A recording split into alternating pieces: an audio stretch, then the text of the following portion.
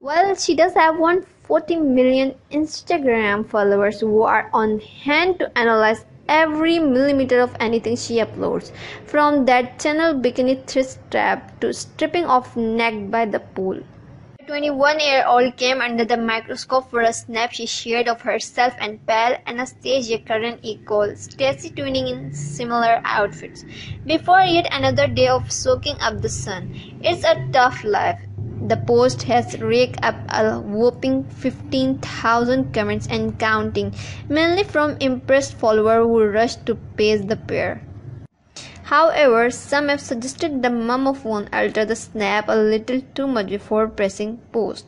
Next time you Photoshop your pictures, make sure you are not sitting in front of a pillow with strips, one commented. We guess there's an exception to Drake's no new friends rule, and that exception is Jordyn-gate. Kylie Jenner seems to have gotten over her friendship with Jordyn Woods faster than we thought, and replaced her with a new BFF, Anastasia Stassi Karen Icklaw. Is it too soon to say out with the old, in with the new?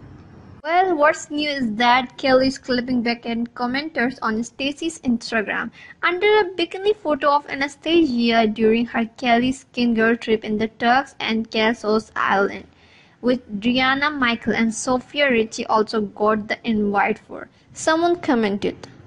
Stress, I would delete this. Your private area skin is rippling, which makes the photo look older.